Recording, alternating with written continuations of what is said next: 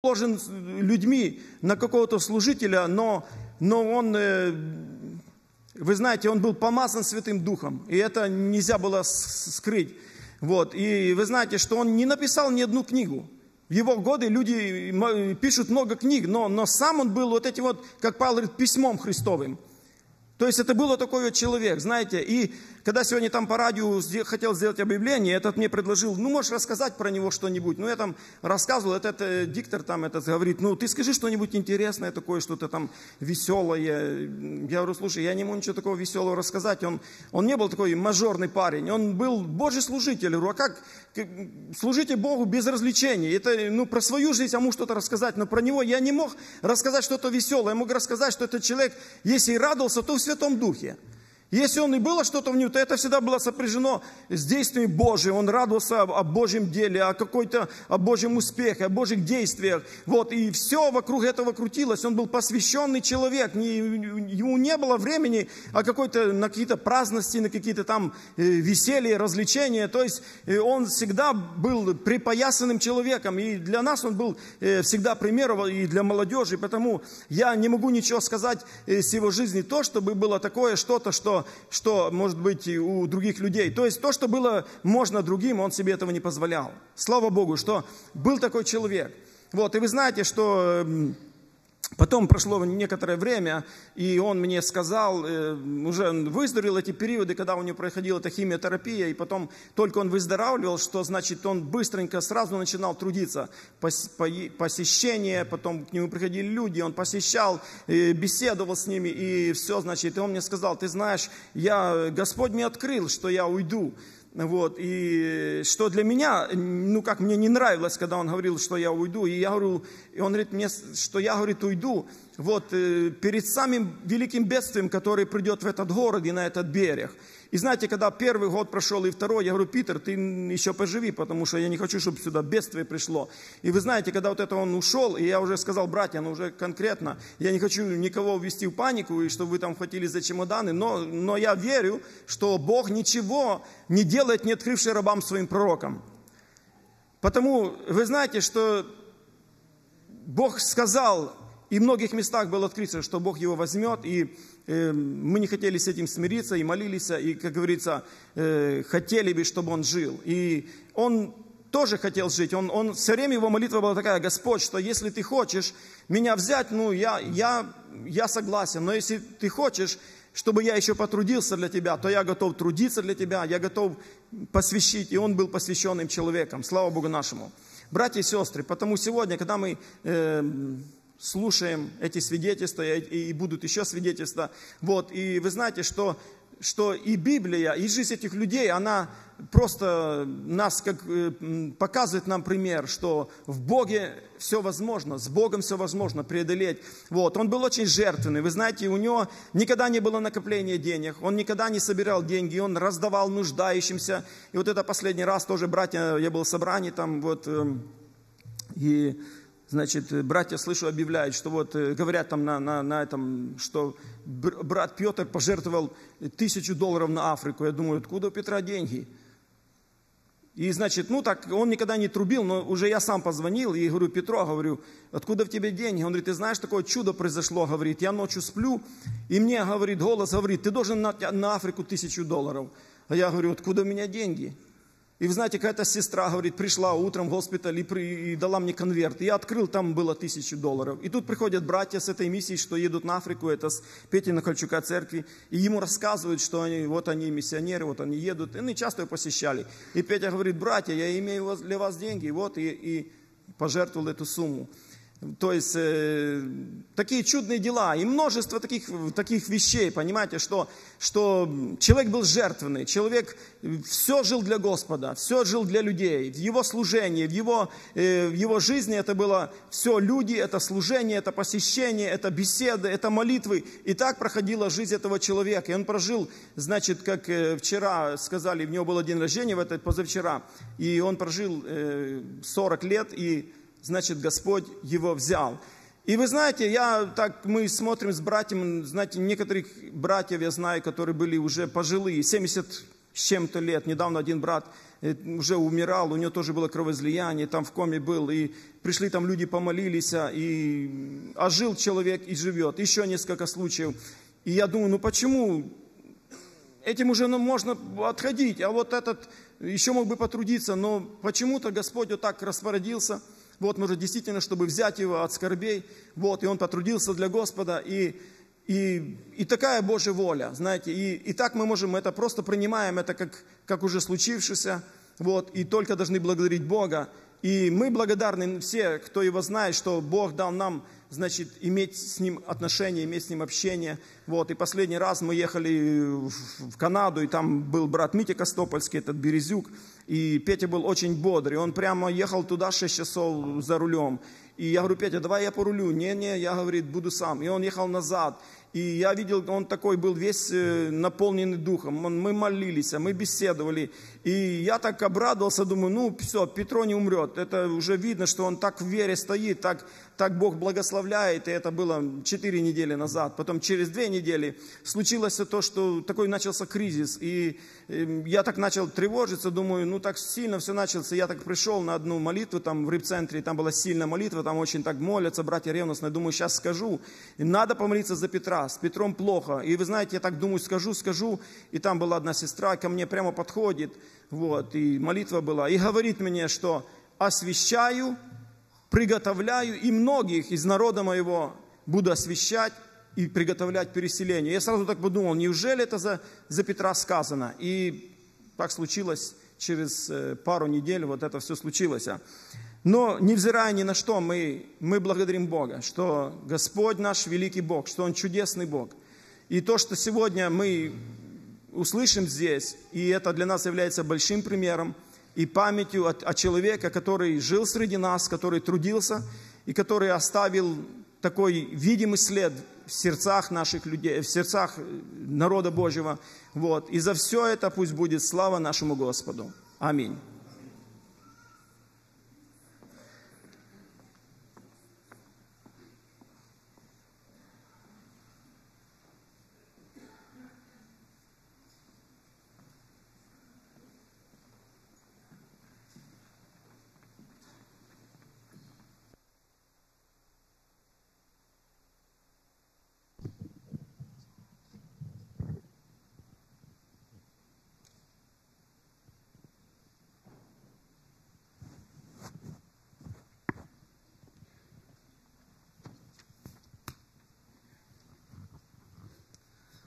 Нашел того, о ком душа моя давно томилась, в ком вечный мир она нашла, пред кем в любви склонилась.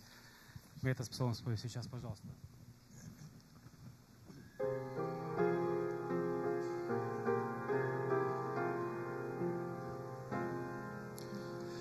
Нашел того, о ком душа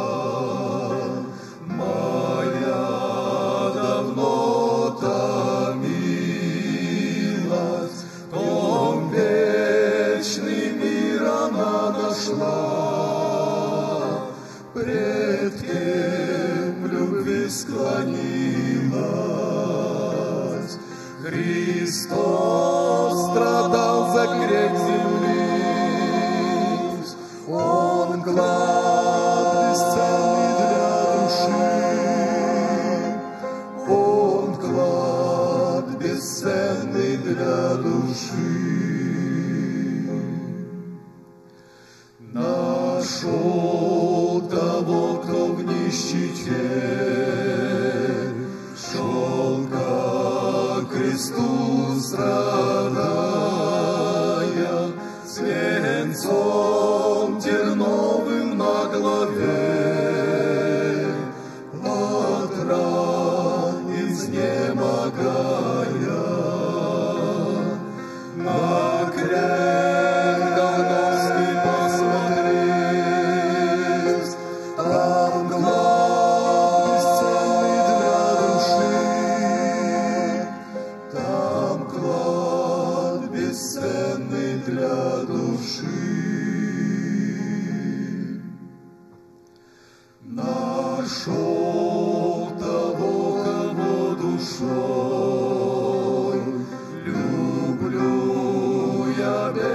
бесконечно,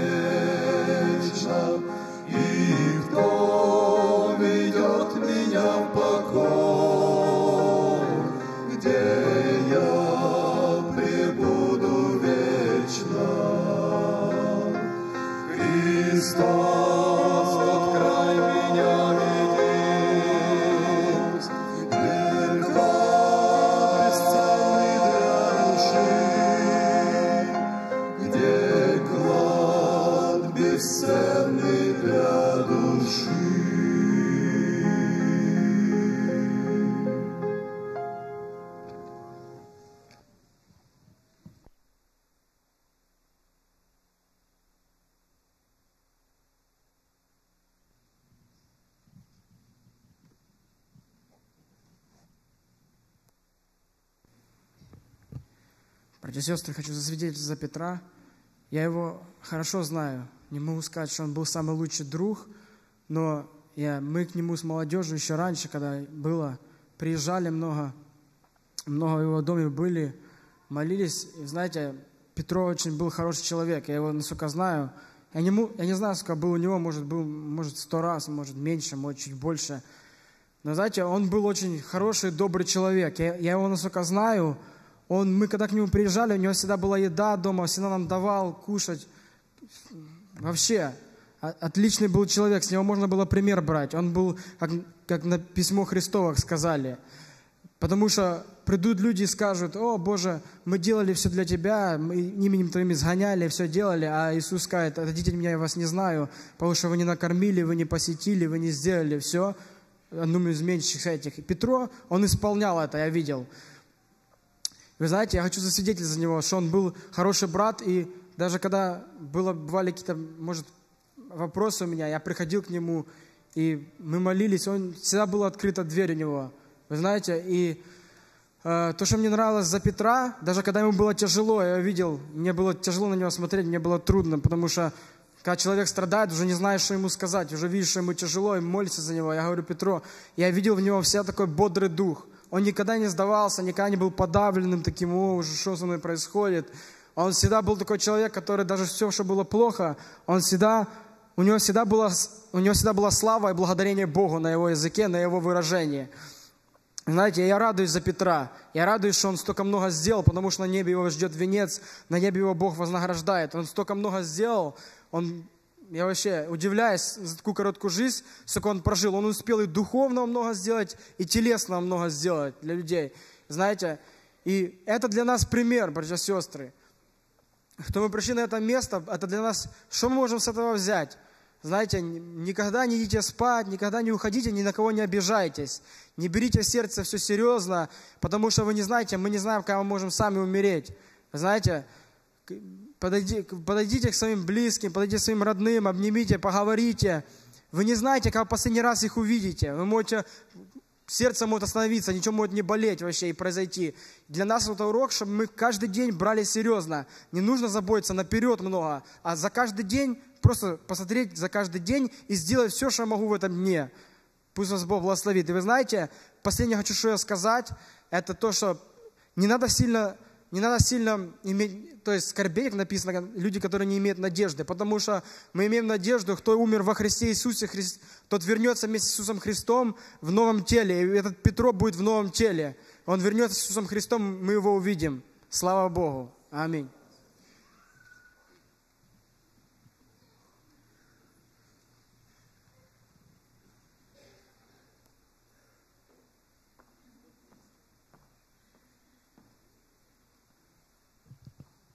Дорогие братья и сестры, давайте скажем слава нашему Богу.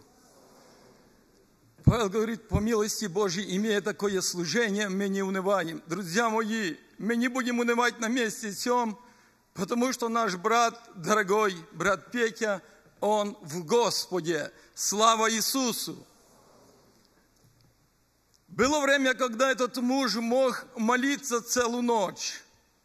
Было время, когда этот муж мог петь целую ночь. И было время, когда этот муж мог плакать целую ночь. Но вот пришло время, когда он уснул, он спит. Друзья мои, если бы он мог открыть глаза свои и посмотреть на это все общество. Сколько сегодня народа пришло для того, чтобы пропеть для Него и во славу Богу. Я не знаю, как вам, но мне хотелось бы здесь быть целую ночь, до утра, чтобы звучали эти песни, эти свидетельства во славу живого и вечного Бога. Он не раз и не два был в доме моем. Друзья мои, мы вместе плакали, вместе молились, вместе пели. Это действительно был муж веры, это действительно был проповедник Евангелия, это был наставник. Да даст нам Господь, чтобы нам в жизни нашей подражать таким людям и служить Богу так, как Он служил. Друзья мои, по плоти этот человек был очень бедным, хотя по духу он богат, но по плоти он был очень бедным. Как передо мной брат Юра говорил, действительно то подаяние, которое приносил народ Божий, он его отсылал подальше. Братья мои сестры, он был человек бедный. Три с половиной года болел. Перед этим годом он также не работал. Семья его также небогатые люди. Поэтому мне положилось на сердце прочитать такой стих. Благотворящий, благотворящий бедному дает взаймы Господу, и Он воздаст ему за благодеяние Его. Бог воздаст ему, Бог воздаст каждому из нас за то благодеяние, которое мы в этот последний момент мы сможем послужить. Друзья мои, дух его ушел, но тело здесь. Мы его должны скрыть. Как написано, что из праха ты взят, и в прах возвратишься. Поэтому, братья и сестры, да благословит вас всех Господь. Мы сейчас при общем пении встанем на наши ноги и сделаем материальное служение. Аминь.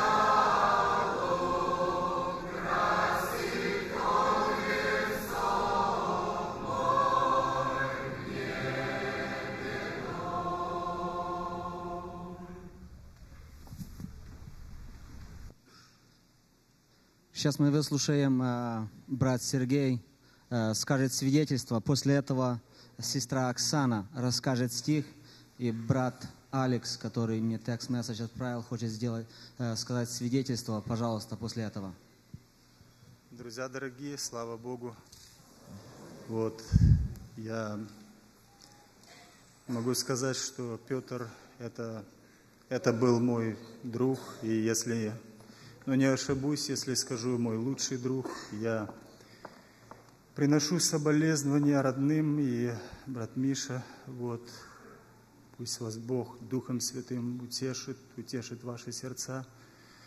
И это был особенный человек для меня, вот, в моей жизни он сыграл колоссальную роль в свое время. Я вообще Петра знаю уже 15 лет. Очень необычным образом мы познакомились. Мы как-то приехали на свадьбу в Портленд. Я сам из Сакрамента. И после свадьбы вышел, я никого не знал в Портленде. И Петр обладал очень уникальным характером. Он, он умел замечать людей. Вот был очень смиренно мудр, был добрым, вот, любил людей. Я бы сказал, что этот человек был народным служителем. Он служил просто простому народу. И его целью не было кафедра, его целью было просто любить людей, помогать людям. И лично он э, помог мне в моей жизни просто духовно подняться, состояться. И когда мы были в Портленде, вот впервые, он вышел и увидел нас. Я был совсем чужим человеком для него. Он вышел и говорит, братья, вы откуда? Я говорю, мы из Сакрамента. Говорю, а вы куда направляетесь? Я говорю, ну мы, наверное, снимем гостиницу, побудем немножко в Портленде, посмотрим город. Он говорит, не-не-не, братья, ко мне домой, едем ко мне домой. Я говорю, интересный человек, странный человек, я этого человека в первый раз вижу. Я говорю, да нет, я вас вообще не знаю, и вы меня тоже не знаете. Мы были с друзьями. Я говорю, нет, братья, едем ко мне домой. И таким образом он пригласил нас к себе домой. Вот. Интересную деталь, которую я наверное, никогда в своей жизни не забуду. Вот он сделал там, он налил в чашу воды, сказал, братья, разувайтесь. И он омыл нам ноги.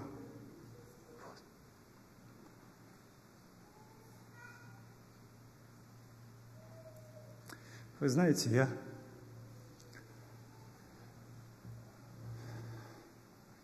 я, я никогда не встречал подобного человека.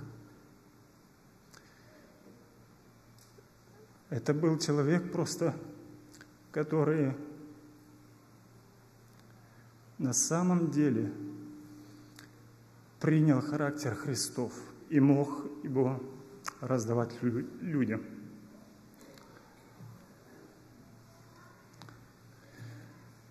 Прошло время, мне было всего лишь 19 лет на то время – Прошло время, я уехал в Сакраменто. Я начал приближаться к Богу, и э, сразу после водного крещения я, я упал, я отошел от Бога. Я начал быстро катиться вниз, я быстро ушел в наркотики, и Питер услышал об этом. И я услышал, что Питер едет в Сакраменто. Вы знаете, я настолько боялся с ним встретиться, я просто ховался от этого человека. Я просто не, не представлял себе просто встречи вот, э, с той святостью, в которой пребывала в его жизни. И он уехал, но спустя буквально три дня произошло необычное и вообще явление – я стоял на заправке, у меня была просто уже такая уличная, грязная жизнь. Вот. Я стоял на заправке, искал в тот вечер наркотики, и В, это время, в это время проезжал мой э, муж моей сестры мимо этой заправки. Ему позвонил Петр на селлерфон и говорит, я ищу Сергея, где он, где он находится. Он говорит, я сейчас как раз проезжаю мимо заправки, он здесь на заправке. Он его просто упросил, этот подъехал ко мне и просто дал телефон. И Петр сильно меня начал звать в Портланд сюда, сильно начал меня приглашать. У меня была своя жизнь, я не планировал вообще вот, идти обратно к Богу. Моя жизнь просто катилась вниз. Этот разговор прошел, я сказал, да, конечно, Питер, как только появится возможность, я обязательно приеду к тебе. И... Но я знал, что я к нему не приеду, и у меня просто была своя жизнь. Вечером, когда мы собирались просто на очередное преступление, просто Дух Святой начал стучаться в мое сердце. Я просто начал говорить, Господи, в общем, как все-таки надоело мне вот такая жизнь, как мне хочется просто опять к Тебе. Если такая мысль пришла, если бы Ты меня простил за все, что я сделал, я бы вернулся к Тебе.